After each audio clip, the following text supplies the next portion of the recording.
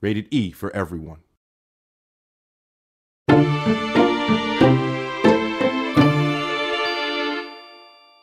It's up to you as Nancy Drew.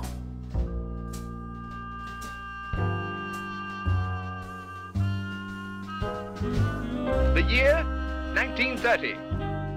The place, the road to Titusville, where we find Nancy Drew behind the wheel of her blue roadster pondering this question. Why did Emily Crandall ask Nancy to drive all the way out to the Lilac Inn to see her? Does it have something to do with the fact that Emily's mother died barely a month earlier, leaving Emily to run the restaurant with only her guardian to help her? The spunky teenager turns off the main road, blissfully unaware that Emily isn't all that waits her at the end of the driveway.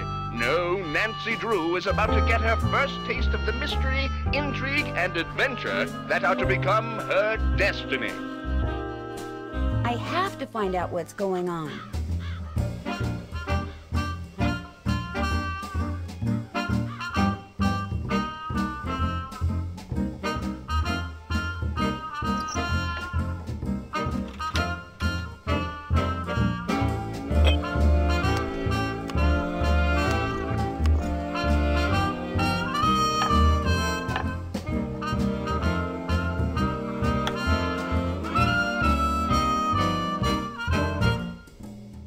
Is the clock in the parlor the one Josiah gave you? Yes, Does everybody around here feel that way about him?